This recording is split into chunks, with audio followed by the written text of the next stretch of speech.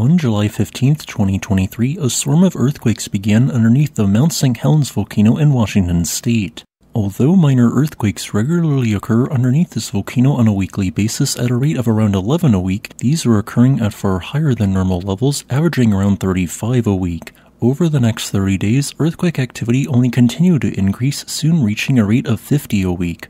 These earthquakes were later revealed to be caused directly by the movement of magma as one of the magma chambers underlying Mount St. Helens is slowly recharging. So, is an eruption likely? What is the context of these earthquakes? This video will answer these two questions and discuss what might happen next at this volcano. For some context, Mount St. Helens is located in southwest Washington state where it lies directly west of another volcano, Mount Adams. Of the 39 volcanoes in the lower 48 US states, Mount St. Helens is by far the most active. In fact, just in the last 1,000 years, it has erupted 22 times.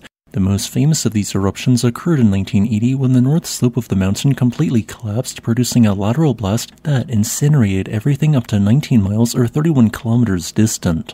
Mount St. Helens, which last erupted from 2004 to 2008, and the Indian Heaven volcanic field, which last erupted around 9,000 years ago to the southeast, both pull magma from the same massive underlying magma reservoir, which is located at a depth of between 5 and 25 miles in the crust.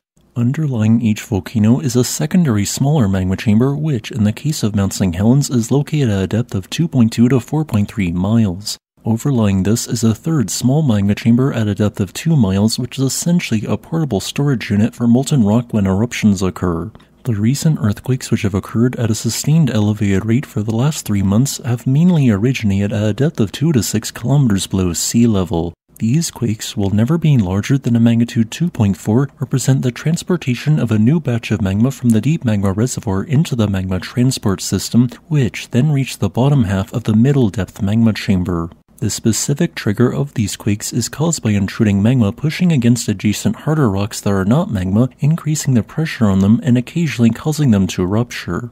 As a whole, the rate of earthquakes at Mount St. Helens is now the highest they have been since the middle stages of this volcano's last eruption during 2005. While new magma is building in an underlying magma chamber, you might be surprised to learn that historically, episodes with these types of earthquakes have not strongly correlated towards volcanic eruptions soon after occurring.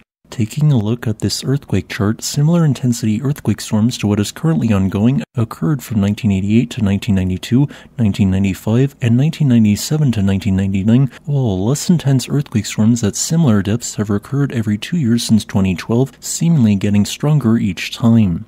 My analysis suggests that while the influx of magma does, in my opinion, suggest that Mount St. Helens has an increased chance of erupting sometime in the next decade, the increased risk appears to be long term, perhaps only representing a double chance when compared to background levels. What would be more concerning is if a similar number of earthquakes occurred at shallower than 2 kilometers depth, like what was witnessed before each of the recent eruptions at Mount St. Helens.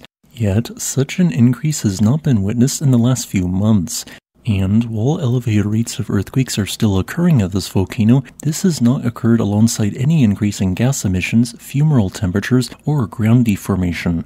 As a result, the alert level of Mount St. Helens still remains at green on October 31, 2023, with an eruption seeming to be quite unlikely in the short to midterm future. However, since this represents the strongest volcanic unrest in 15 years, with similar intensity episodes occurring once every 9 years on average, I have added Mount St. Helens to my 0 to 10 opinion based volcanic unrest scale with a score of a mere 1. As a final note, I would like to thank my new patron Greg Harbican for supporting this channel.